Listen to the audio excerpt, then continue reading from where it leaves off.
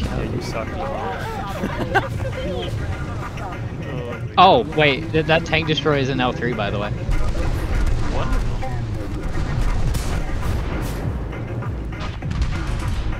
Uh, fire. Don't worry, I set the AML on fire. Not the AML, the IKV. There we go. Dead.